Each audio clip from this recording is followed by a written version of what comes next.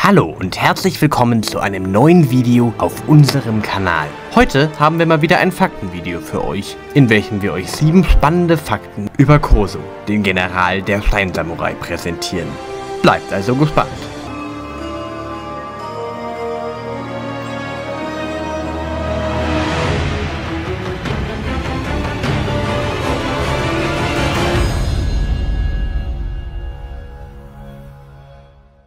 Fakt Nummer 1.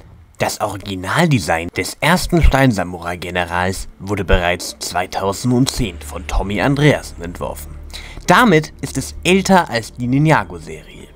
In dem Konzept hatte Corso nur zwei Arme und einen Umhang. Fakt Nummer 2. Corso und seine Steinsamurai beherrschen neben der Sprache Ninjagos auch die Sprache der Steinsamurai, welche die Steinsamurai untereinander sprechen. In der englischen Originalversion ist Corso zudem der einzige Steinsamurai, der die Sprache Ninjagos sprechen kann. Im Deutschen sprechen in der Sprache auch die anderen Steinsamurai. Fakt Nummer 3. Corso ist japanisch und bedeutet der Verwurzelte. Das könnte darauf hindeuten, dass er eine Figur aus den Wurzeln der Geschichte Ninjagos ist oder, wie auch Wurzeln, tief im Erdreich Ninjagos eingesperrt war, nämlich im Grab der Steinsamurai. Vielleicht ist der Name aber auch nur Zufall. Fakt 4. Sein Design in der Serie ist detaillierter als das seiner Minifigur. Auch verwendet er silberne statt schwarzer Schwerter. Des Weiteren verfügt er in der Serie über vier Schwerter, während er in den Sets nur zwei trägt. Fakt 5. Außerdem tritt er in drei verschiedenen Sets zu drei verschiedenen Welten auf. Diese sind Gamatron aus Staffel 2, das Samurai X Höhlenchaos vom Tag der Erinnerung und der goldene Mech aus der Legacy-Reihe. Corso hat auch drei verschiedene Minifiguren. Von den Schurken haben lediglich Gamadon und Pythor mehr Minifigur-Varianten.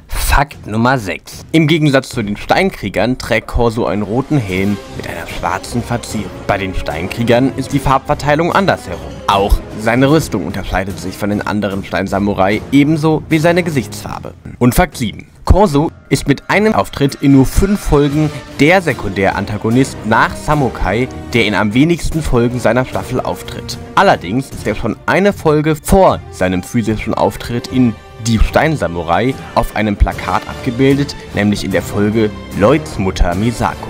Jedoch ist er der Sekundärantagonist mit den wenigsten Auftritten in einer Staffel, da Samukai als dieser nur in einem Spezial fungierte. Und das waren auch schon unsere sieben Fakten über Corso, den Steinsamurai. Wir hoffen, sie haben euch gefallen und es war etwas Neues für euch dabei. Für mehr Informationen zu Corso und vielen weiteren Charakteren schaut gerne bei uns im Wiki vorbei. Den Link findet ihr wie immer unten in der Beschreibung. Bis zum nächsten Video wünschen wir euch alles Gute und eine angenehme Zeit.